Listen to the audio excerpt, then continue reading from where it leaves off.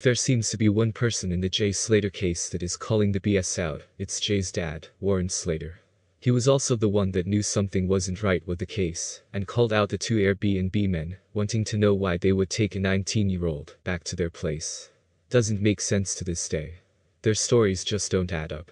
Anyway, you can imagine the public relief when Warren started posting videos and basically giving us hints that he believed something happened to Jay up in those mountains. He doesn't believe Jay just took a shortcut back to his hotel, like Lucy has been saying. In his latest video, captioned That's Why I Trust Nobody. While watching this video, I noticed some dry humor from Warren, even referring to Dora the Explorer, which is great to see, especially in such dark times for his family. In this clip it seems as though Warren might believe the searchers are misleading the search. Warren then shows the path that Jay took to buy some cigarettes, and then go back to the Airbnb. I want to ask if any of you guys have seen photos other than this Snapchat image of Jay smoking an actual cigarette. I thought he only smoked e-cigarettes. Anyway, take a listen to what Warren has to say. Right, Dora is fixed is here.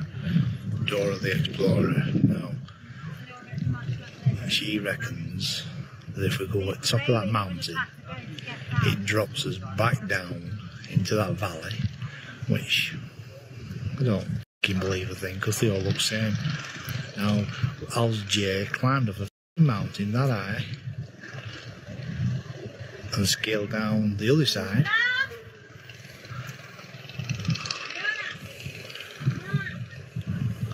And it's just all in wild goose chases every last bit. And Glenn, he's been sucked in, thinking that she knows what she's on about. And another thing, what Andy just said is, as she just turned up, guess who's behind her straight away? The press. Like I said, got more chance of finding Cleopatra. This is the path they took to go and buy some cigarettes and then he was going back to the bed and breakfast where he started off from. But who knows?